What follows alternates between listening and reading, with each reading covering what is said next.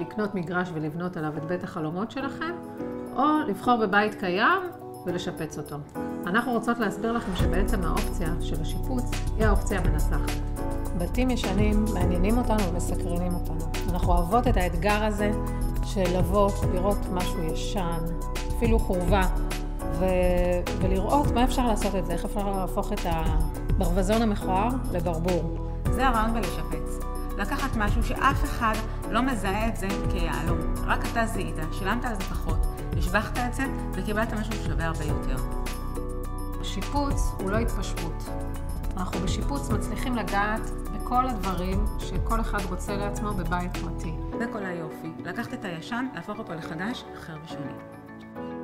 אנחנו מתייחסות לבית הזה בעצם כסוג של שלד, כחלל נתון, ובתוכו אנחנו משחקות, מזיזות קירות, מתמודדות לפעמים אפילו גם עם עמודים, אבל החופש הוא עצום, אפשר לפתוח פתחים, אפשר לשנות מיקומים, אפשר לעשות תשתיות חדשות, ובעצם אפשר להגיע בבתים ישנים לרמה של בית חדש לכל דבר ועניין. בדירות הישנות, המטבח היה בפני עצמו, הסלון, הפינת אוכל, אנחנו מאחדים את הכל, מייצרים עוד חדרים. בסופו של דבר התוצאה היא בית חדש לכל דבר ועניין. זה כל היופי, לקחת את הישן, להפוך אותו לחדש, אחר ושונה.